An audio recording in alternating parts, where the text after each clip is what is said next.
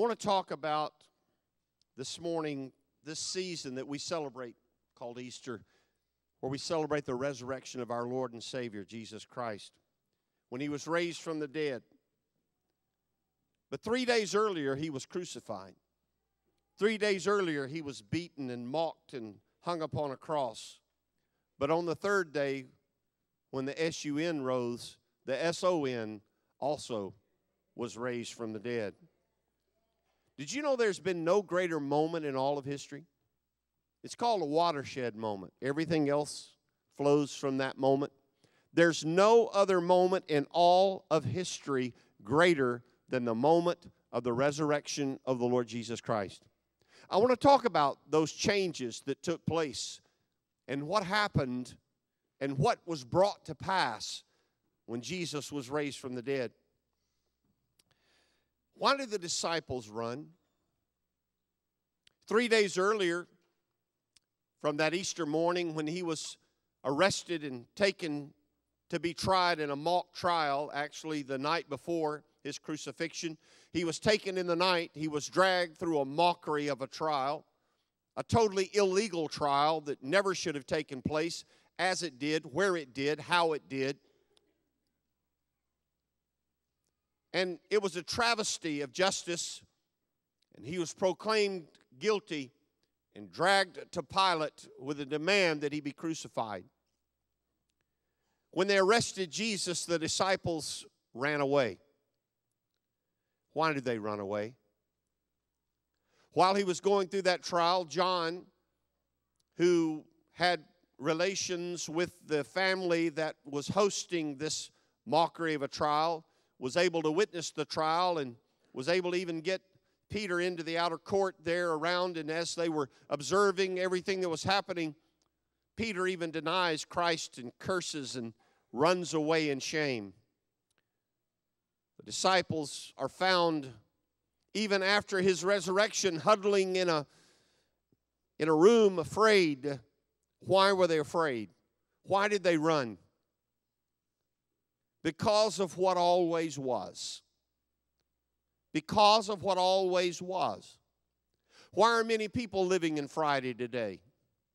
Why are many people living in that place where they're running in fear, where they're hiding from other people and hiding from their emotions and their feelings, hiding from themselves. Why are they doing this? Because they're living in Friday and they don't understand uh, that Sunday morning has come. In Matthew chapter 26 and verse 47, I want you to turn with me to the passage of Scripture where Jesus is being tried in this mockery of a trial. And in verse 47, we find where he is arrested. While he was still speaking, Judas, one of the twelve, arrived. In verse 47, with him was a large crowd armed with swords and clubs, sent from the chief priest and the elders of the people. Now the betrayer had arranged a signal with them The one I kiss is the man. Arrest him. Going at once to Jesus, Judas said, Greetings, Rabbi, and kissed him. And Jesus replied, Friend, do what you came for. Then the men stepped forward, seized Jesus, and arrested him. With that, one of Jesus' companions reached for his sword, drew it out, and struck the servant of the high priest, cutting off his ear. He responded with bravery, but not understanding what Jesus was trying to accomplish. Put your sword back in its place, Jesus said to him, for all who draw the sword will die by the sword. Do you think I cannot call on my Father and he will at once put at my disposal more than 12 legions of angels? There was an old song years ago. He could have called 10,000 angels, but he walked alone up Calvary's road and died for you and me. He said, Don't you understand? All the host of heaven is at my disposal. I don't need your little sword. It's okay. But how then would the scriptures be fulfilled that say it must happen in this way? What he was saying is, Peter, I know you don't understand, but this is what's got to happen. I'm afraid that there are a lot of people who come to the point of salvation. They come to the point of being confronted with the gospel of Jesus Christ. They come with a realization of the truth and the conviction of the Holy Spirit. And like Peter, we don't really know how to react to it, and we're not really ready to submit to it because it's so contra to anything that so contrary to anything we've, we've ever thought or imagined, those who have never known the Lord, because what? To receive, I give. To live, I die. To what? None of this makes any sense. For the gospel, it says, to the world is foolishness, but to us who believe it is the power of God unto salvation. So Peter's not really understanding what he's supposed to do. And so in that moment, Jesus speaks to the crowd in verse 55. At that time, Jesus said to the crowd, Am I leading a rebellion that you have come out with swords and clubs to capture me? Do you see an army with me? Do you see uh, soldiers? Do you see implements of war? Every day I sat in the temple courts teaching, and you did not arrest me. The reason they didn't arrest him is because he had a great following and they were afraid of the crowd of those who supported Jesus. That's why they took him in the stealth of night. That's why they drug him to a court case that should never have happened in the night where no one knew it was taking place to ensure that none of Jesus' supporters would have any knowledge of what was going on. He said, But this has all taken place that the writings of the prophet might be fulfilled. Then all the disciples deserted him and fled. He said, You come out here with swords and soldiers and weapons, and I just simply sat in the temple and spoke. Why do you think it necessary to do that? Look, all of this must happen. And his disciples fled away. Because scripture had to be fulfilled. You see, Jesus had already been trying to prepare them. He had been telling them that he was going to be crucified, and they were greatly sorrowed, uh, sorrowful over that. And, and, and as a matter of fact, he told them he had just gotten through telling them, please pray with me, but they were so weary and exhausted from grief that they couldn't stay awake. And now Jesus is facing this trial, this day, this crucifixion alone because his disciples have all run away. Those who had arrested Jesus in verse 57 took him to Caiaphas, the high priest, where the teachers of the law and the elders had assembled. But Peter followed him at a distance, right up to the courtyard of the high priest. He entered and sat down with the guards to see the outcome. The chief priest and the whole Sanhedrin were looking for false evidence against Jesus so that they could put him to death, but they did not find any. Though many false witnesses came forward, they could not bring about a case that would mean his death. Finally, two came forward and declared, This fellow said, I am able to destroy the temple of God and rebuild it in three days. Then the high priest stood up and said to Jesus, Are you not going to answer what is this testimony that these men are bringing against you? I guess Jesus, previous to the fifth ever ex- existing, stayed silent. The high priest said to him, I charge you under oath by the living God, tell us if you are the Christ, the Son of God. Are you what they say you are declaring you are. There are people who try to tell us that the Bible never says that Jesus really what that Jesus never said he was the son of God. That Jesus never really said that he was the savior. Really? The high priest said to him, I charge you under oath by the living God, tell us if you are the Christ, the Son of God. Yes, it is as you say. So, yes, Jesus knew he was the Son of God. Yes, Jesus knew that he was the Messiah. Yes, Jesus knew that he was the Christ. But I say to all of you, in the future, you will see the Son of Man sitting at the right hand of the Mighty One and coming on the clouds of heaven.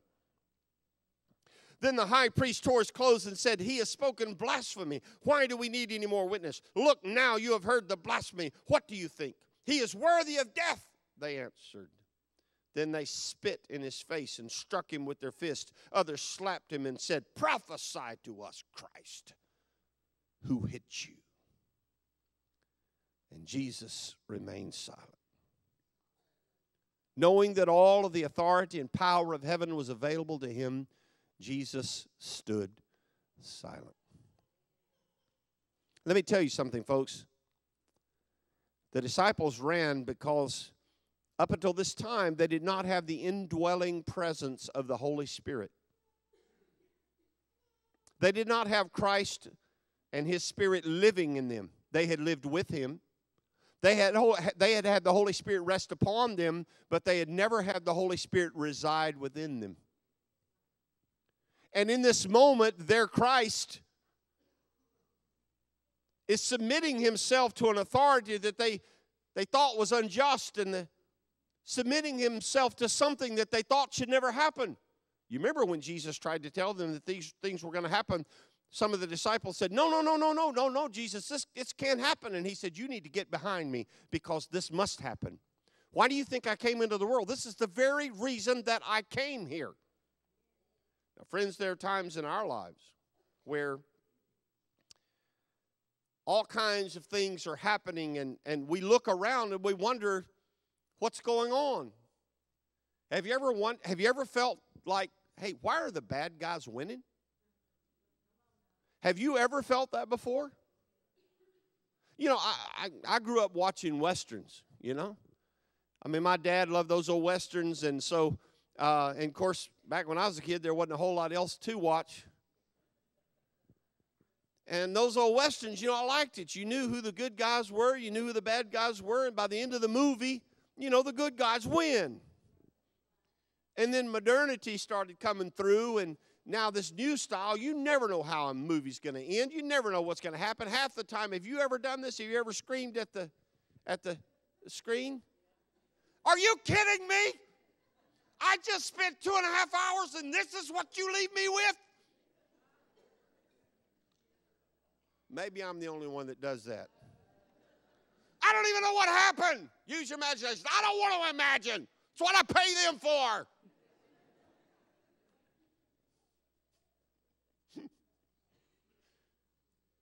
The good guys win, but we know in real life that doesn't always happen. You see, the disciples, why did they run? Well, they knew history.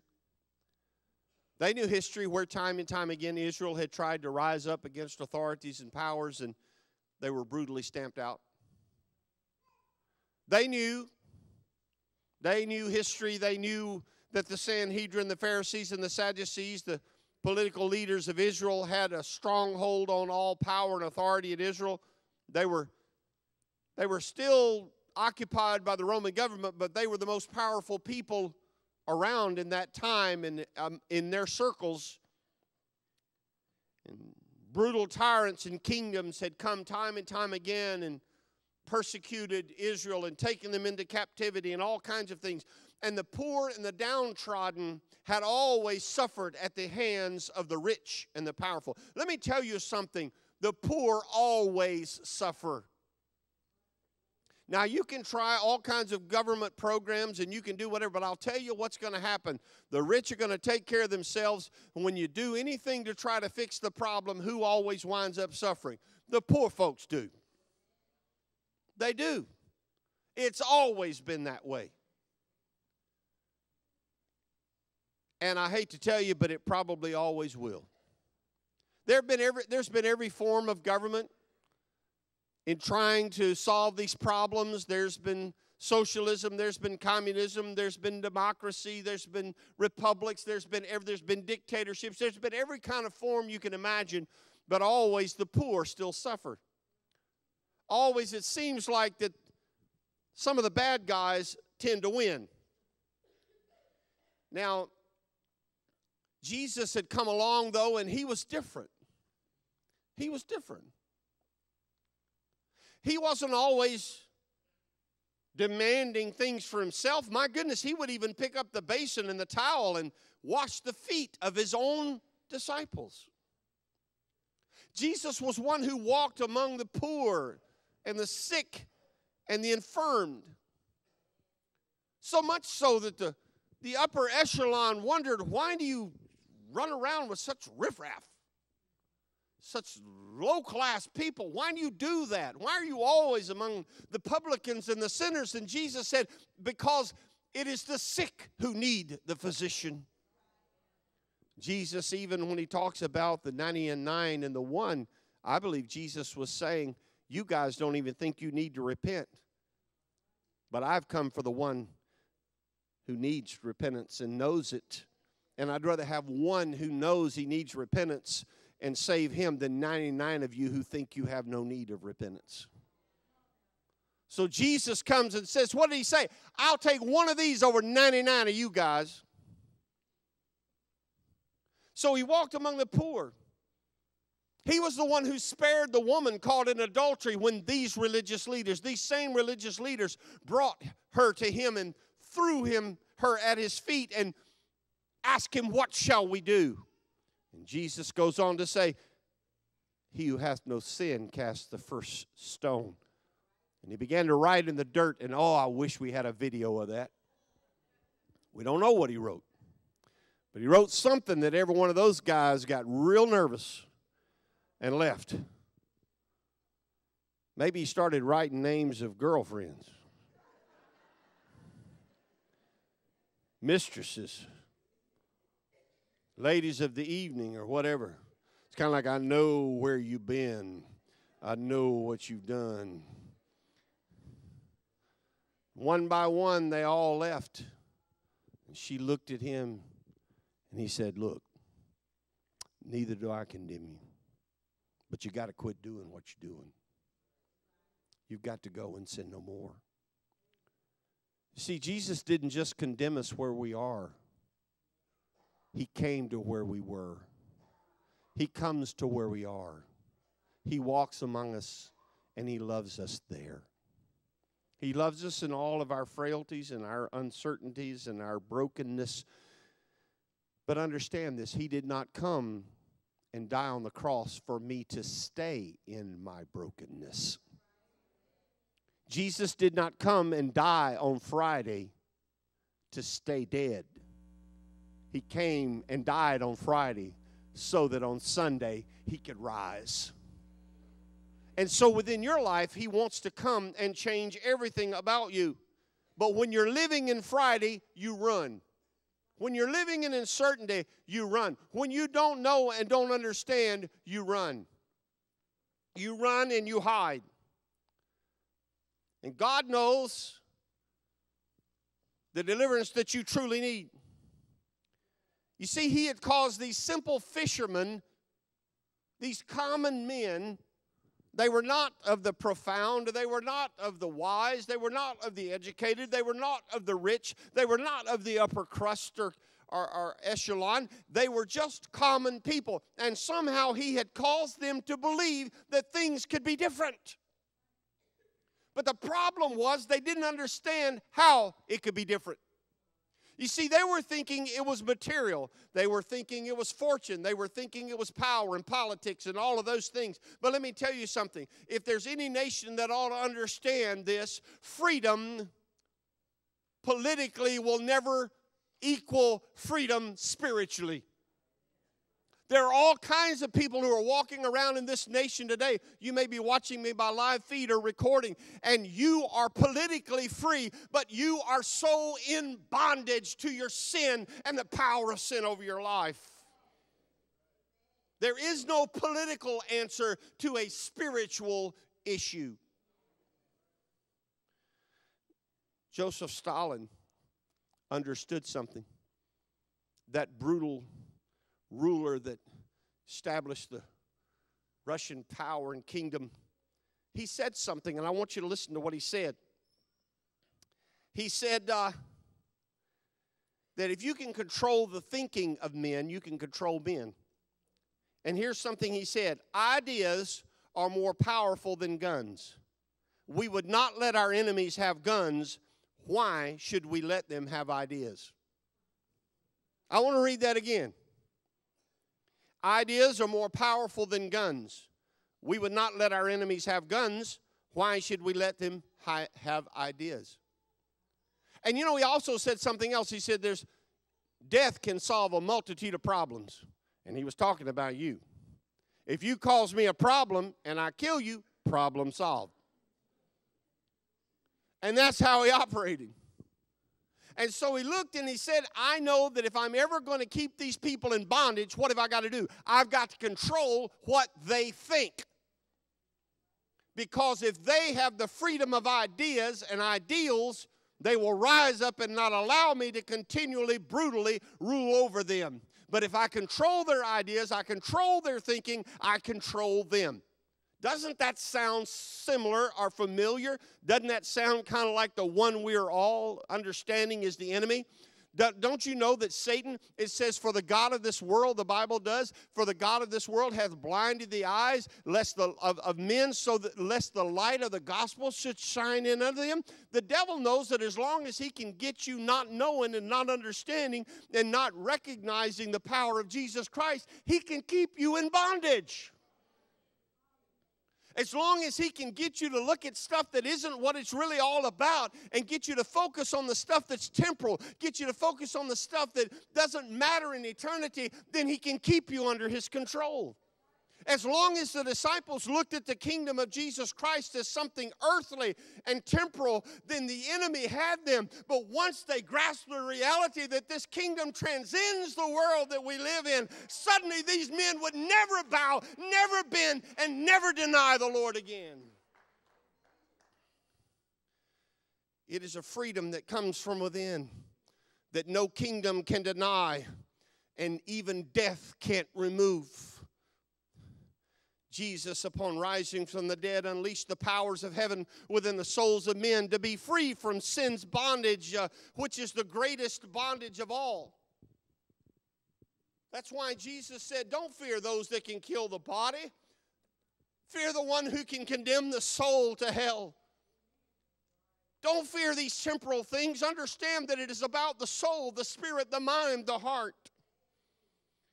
The God that can't be held within the universe has chosen to come to you and me and offers to live within our hearts.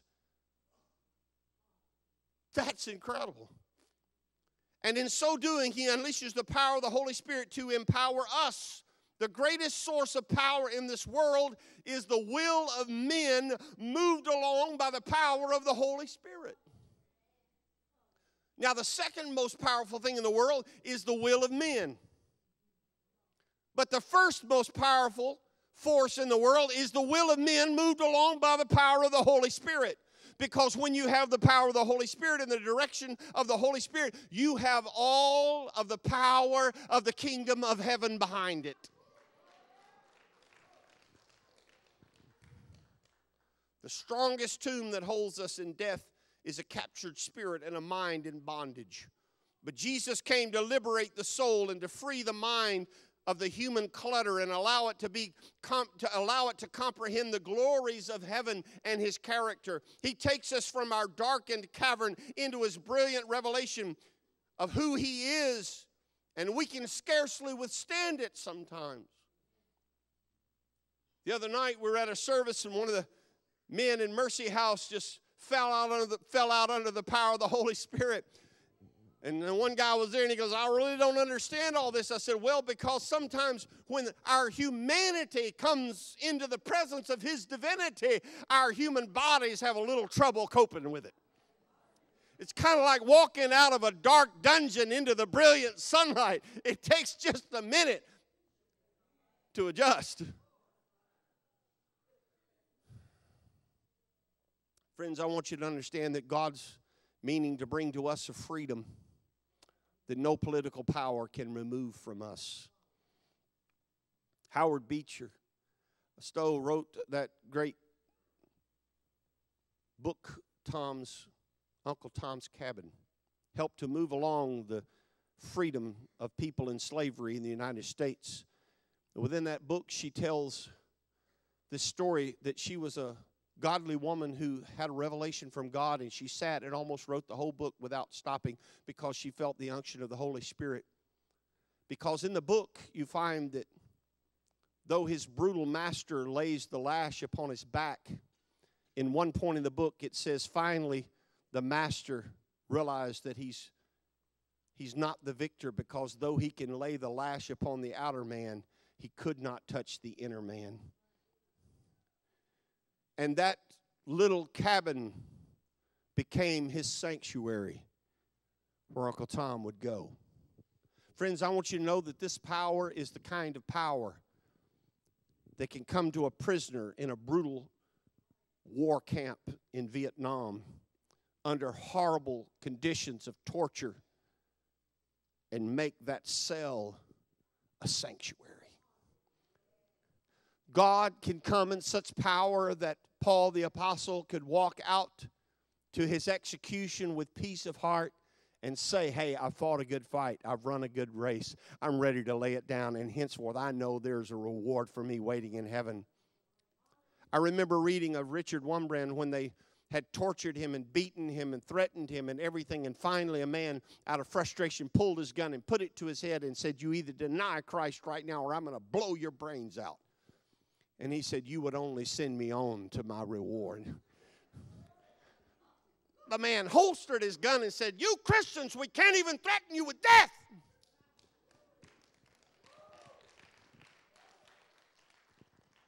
Friends, I want you to know that right now there are brutal massacres of Christians taking place in Central and Southern Africa right now.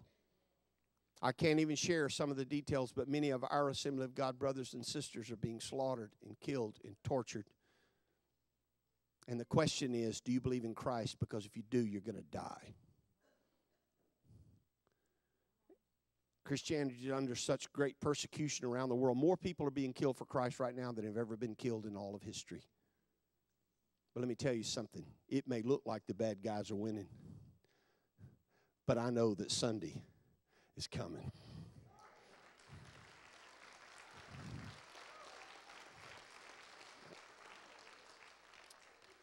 In Ephesians chapter 1 and verse 18, it says, I pray also that the eyes of your heart may be enlightened, in order that you may know the hope to which he has called you, the riches of his glorious inheritance in the saints, and his incomparable great power for us who believe.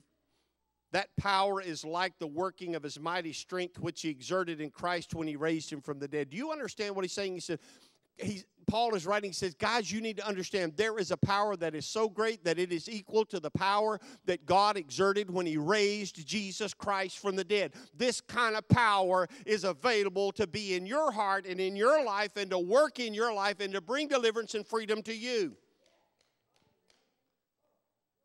This is not a freedom of human thought.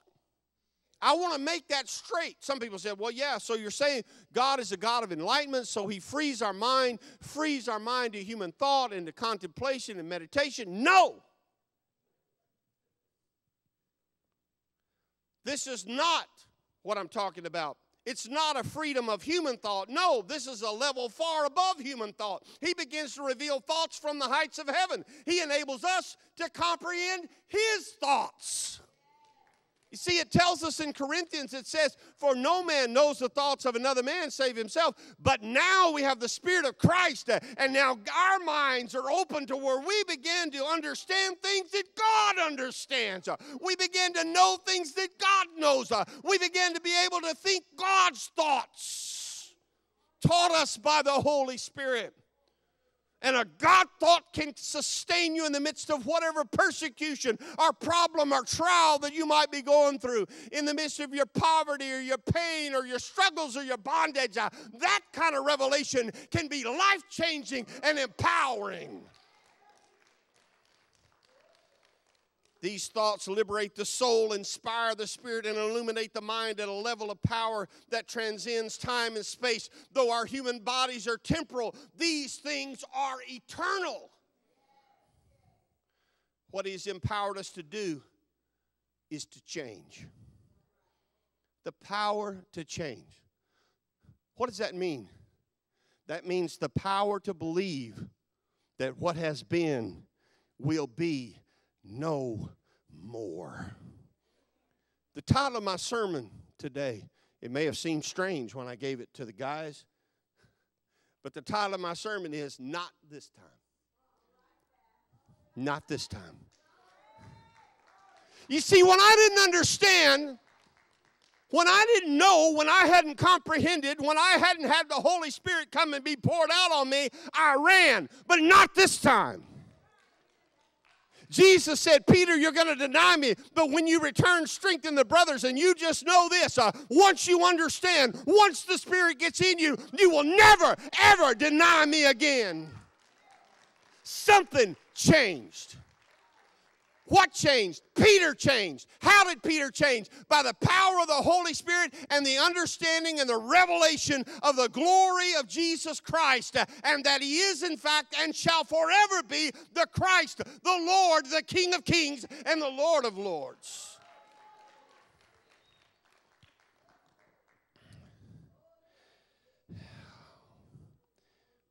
We no longer conform to this world but instead we're conformed by the truth and by the gospel. And friends, I want you to know that down through the ages, I just jotted down a few words here. Through the ages, God has proven himself to be faithful. Pharaoh, you can't stop him though you try, for his will marches on. Nebuchadnezzar, you couldn't escape him, for all shall be judged by him. Darius, you couldn't resist him, for he moves the hearts and minds of kings. Alexander the Great, you can't conquer him because he causes the rising and falling of many. Caesar, you can't intimidate him, for he is lifted high above the heavens. Dynasties of China, you can't outlast him, for he is the Alpha and Omega. Genghis Khan, you can't frighten him, for the host of heaven follows him into battle. Stalin, your human will could not match his eternal will, for your kingdom has fallen, but his marches on. Nietzsche, you didn't kill him, for you're dead and he still lives. Hitler, you can't exterminate him. Your furnaces have long gone cold, but the fire of the Holy Spirit is still burning above the heads of the 120 and within the hearts of his children this very day crescent moon, you will never fly above him, for his banner spans the stars, and his holy mountains shall come against you. Hell couldn't stop him, the grave couldn't hold him, the sky won't contain him, words can't describe him, and no knee will escape him. But the humble heart of a man can receive him because he did it all for you and me, sinners saved by grace.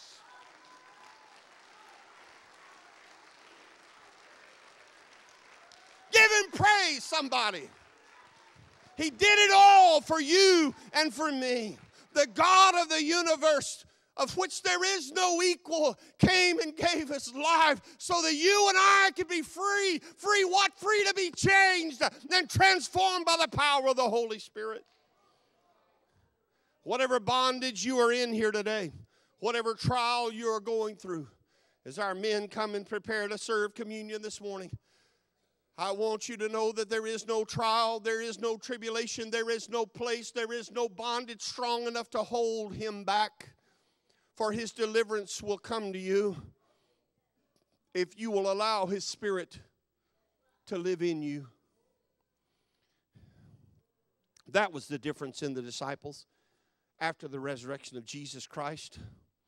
They lost their fear because they knew no man nor death could ever bind them again. I'm not going to tell you that if you give your life to Jesus Christ that everything's going to come up roses and you're not going to have any problems, that you're not going to have any struggles and suddenly your poverty is going to be turned to prosperity. It may, it could, and it might not. But I want to tell you this there's a victory that transcends prosperity. Because you can be rich and be bound, uh, but you can be poor and be free. Hallelujah.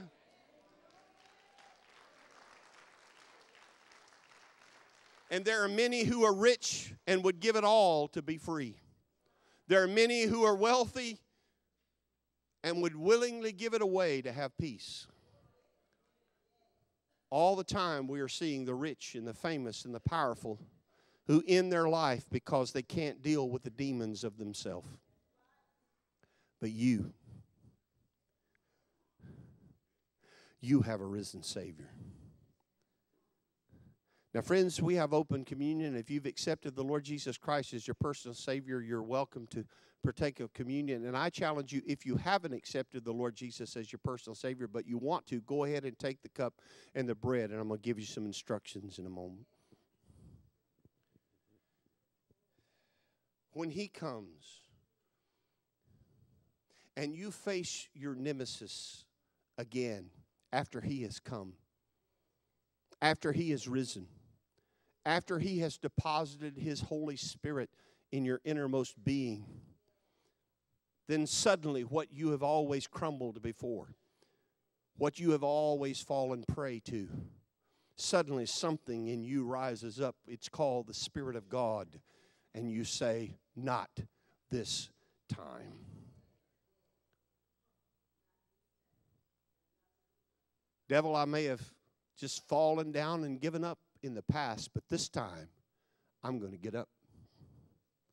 And I'm going to keep getting up. And I'm not going to give up. I'm going to get up. And I'm going to overcome because I'm more than a conqueror through Jesus Christ my Lord. And I know that none of this stuff that you've bound me with before, none of this stuff that you badgered me with before, none of this stuff that you kept me in bondage, intimidated me with, is ever going to work anymore because not now, no more. I will not accept what you have said. I'm going to live on what my God and my Lord and my Savior and my King and my returning King has said over me. You see, there's a strength inside of us that no political power can remove. Not even death can take from you. Lord Jesus, as they pass out this communion cup this morning and this bread, I know that there are many who would say, How could you possibly imagine that just saying a few words to some supposed power out there somewhere eating a little piece of bread and drinking a little bit of grape juice is going to change your life. How could you possibly believe that?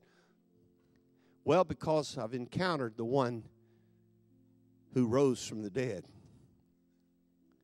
And he showed me that no matter what has been,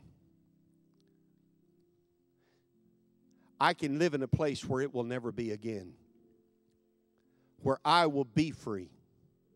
Whether I'm politically free or not, I shall live. Whether I live in this life or whether I live in the life to come, I shall live. For Jesus Christ said, I am the resurrection and the life. And he that believeth in me, though he were dead, yet shall he live. Lord Jesus, I pray that this will so grip our hearts this morning, the revelation of the risen Savior that as we partake of this bread and of this grape juice, that we would recognize that it symbolizes us partaking of the body and the blood of Jesus Christ, meaning that we believe that He came as our sacrifice, as our atonement, as our Redeemer, died upon a cross for our sins, cleansed our sins by the shedding of His blood, and now by His stripes we are healed. By His power, we are delivered. By His Holy Spirit, we are empowered. By His blood, we are made clean. Yes, Lord, I believe these things. Would you stand with me, congregation? I contend to you this morning by the authority of the Holy Spirit and His holy word that if you will believe in your heart that Jesus is the Christ, and that God hath raised him from the dead, thou shalt be saved. And that word saved, you, you know what I'm talking about. I've been telling you this morning what it means. It means that tomorrow you look at a situation that's always been the victory in your life and say, Not today. Not now because I'm not who I was, and I will never be again. Because I believe Jesus Christ came to give me the power to change, died for me, and then God raised him from the dead to prove that God would do what he said he would do.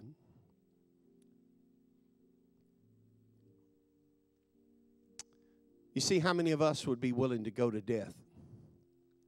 Jesus did because he knew he was going to raise him. You got to have that kind of faith. It says, God, no matter what, I know you got this. So, Jesus, if you're here, I want you to bow your heads. And if you don't know the Lord Jesus as your personal Savior, this is what I want you to just pray it in your own words Jesus, somehow I believe. I don't know. It's your Holy Spirit is drawing me, wooing me, and I know I can't even believe unless you give me the power to, but I feel your Holy Spirit drawing me. And right now, God, I, I, I want to believe and I desire to believe and I, I long to believe even that you are the Savior and the Christ and that you can give me the power to change and you set me free from all these things that have bound me all these years. God, I believe that Jesus came to give me that freedom. I, I believe He came to set me free. Freedom that no money can buy, no political power can, can grant. It only comes from you, God. And I want that freedom. I want that peace. I want that that Christ paid for. It says, Surely the chastisement of our peace, our punishment was upon him. Jesus says, I hold this bread. I believe your body took my punishment. And so, Lord Jesus, I believe thou art the Christ, the Son of the living God. And flesh and blood have not revealed this to me, but the Spirit of God. In my conviction right now, under the Holy Spirit, I confess, Jesus, thou art the Christ, the Son of the living God and your body was given for me. Can we partake of the bread?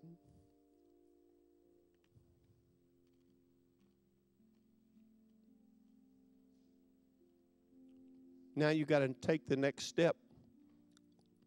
Can you look here for a minute? There's a lot of people, I'm afraid, they eat the bread, but they never drink the wine. They believe that Jesus is the Christ, but then they never allow him to apply the blood. You see, because Jesus, how does he apply the blood? Jesus said, This is the ink of a new covenant. You see, you got to make a covenant with God. That's what he said. He said, My blood is the, basically the ink of a new covenant written in my blood. This morning you're saying, Not only do I believe Jesus, but I covenant to be yours and you be mine. And for the rest of my life, I choose to serve you. I choose to believe that you paid the price for my sins.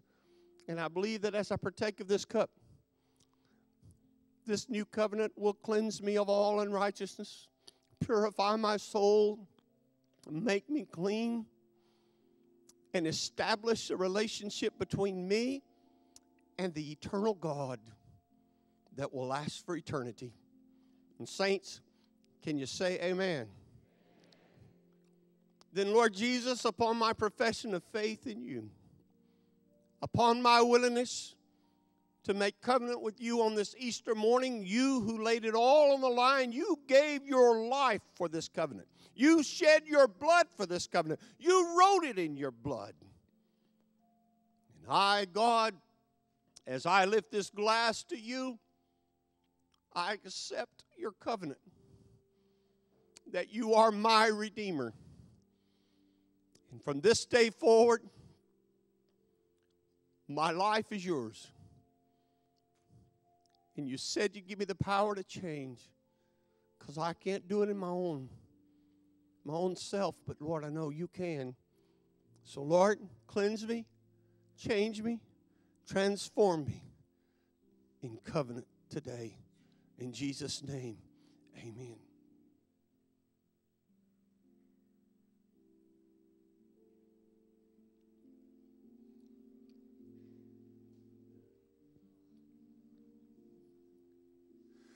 Cleansing flow of the blood of Jesus come right now. Friends, if you're in this place and you just made a profession of faith in the Lord Jesus Christ, I'm going to ask you to do something. Not to embarrass you or to shame you, but because we want to help you in your newfound faith. We have altar workers and people that can meet with you and talk with you and make sure that you understand and know, and that we can pray with you and agree with you and love you and help you be established in this faith. If you just made that commitment, would you just simply make your way to an aisle and come and stand across the front of the sanctuary so that our altar workers can come and talk with you for a moment and to pray with you and so that we might intercede for you. Come on. Right now. You say, Pastor, it's embarrassing. Jesus hung on a cross naked for you.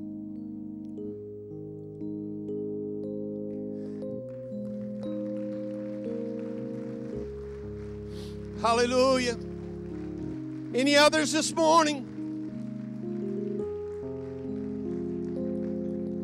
You want that freedom that He promised that we could have. You want God to do that miracle in your life. Today's the day.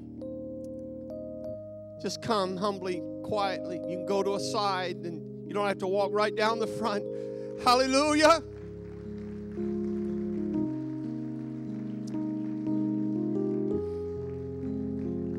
Altar workers, would you come? Can we sing it, saints? I'm Lori. Thanks for joining us. Here at Southside, we'd like to help you grow in your relationship with God. For more info and ways to connect, go to our website. From there, you can like us on Facebook and even subscribe to our YouTube channel. If you need prayer, give us a call at the church office or feel free to email us. May God bless you, and we look forward to seeing you soon.